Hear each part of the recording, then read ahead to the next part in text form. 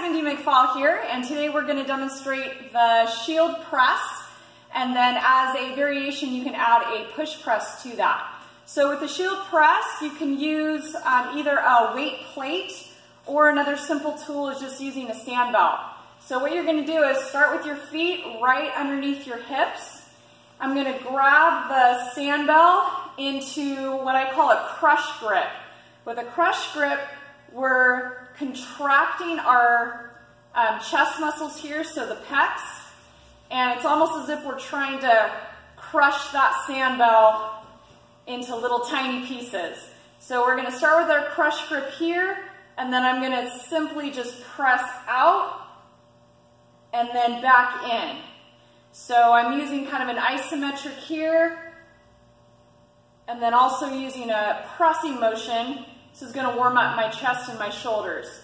To add a push press, all you're gonna do is, after you get into your crush grip and press, you're gonna just turn that Sandbell inwards, dip drive with the knees, press up biceps to ears. So all together it looks like this. Crush grip to press, dip, drive and up. Crush grip and press, dip, drive and up. Now, if you're doing this for a long period of time, it can get pretty taxing. So what you can do is encourage your clients, or if you're doing this exercise, to give yourself a set number of reps, whether it's six to eight reps, take a break, and then go again for whatever um, time interval you've set for yourself. So that is the shield press with the push press variation. Thanks for watching.